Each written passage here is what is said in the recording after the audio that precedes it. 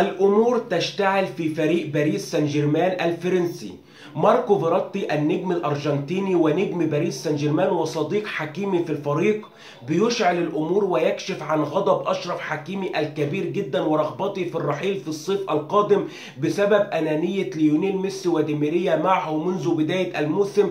فما هي التفاصيل النارية التي فجرها ماركو فيراتي في تصريحه لصحيفة توتو سبورتس الإيطالية؟ سنتعرف عليه من خلال هذه الحلقة ولكن في البدايات يا أحلى الناس ويا عشاق النجوم المغاربة والمنتخب المغربي. أهلا وسهلا بكم جميعا ايا كان بتتفرج عليا من أي مكان في العالم.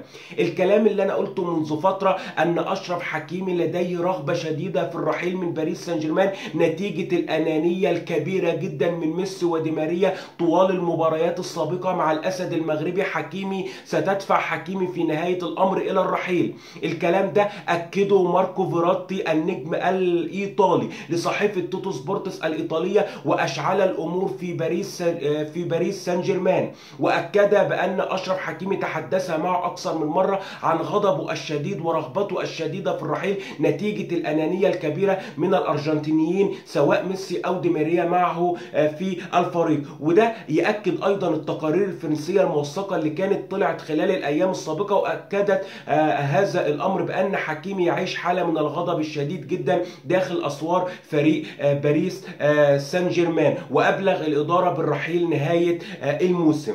كذلك ماركو فيراتي تمنى بأن يتم حل كل المشاكل ما بين حكيمي وميسي ودي ماريا في الفترة القادمة علشان يقدروا ينافسوا على دوري الأبطال. لأن من وجهة نظر فيراتي بأن باريس سان جيرمان هو أفضل الفرق الأوروبية من حيث ال squad قوائم اللاعبين. فيمتلكون ميسي واحد من أفضل اللاعبين في العالم وحكيمي أفضل back يمين في العالم بلا أي شك وبلا أي نقاش.